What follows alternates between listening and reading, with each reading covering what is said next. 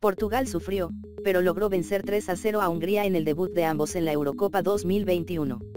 El partido arrancó con dominio de Portugal que tuvo la primera a los 4 minutos con Diogo J. Al 18 Cristiano Ronaldo sacó disparo peligroso pero en posición adelantada. Al 36 Hungría tuvo su primer remate con cabezazo de Adam Salai. Una de las más claras llegó al 43 cuando Cristiano Ronaldo remató por encima del arco de mera increíble por encima del arco. Así, al descanso se mantenía el 0 a 0.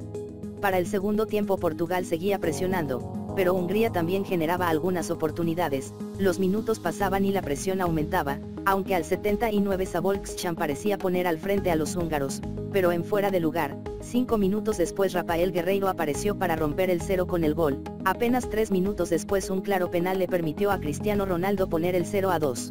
Pero eso no sería todo ya que en tiempo de reposición otra vez apareció CR7 con un golazo. Para el 0 a 3 final.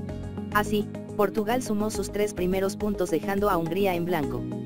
En actividad de la jornada 2 de la Eurocopa, los lusos se medirán a Alemania y los húngaros a Francia, ambos el sábado. No olvides suscribirte a canal Tuitealo y dejar tu like.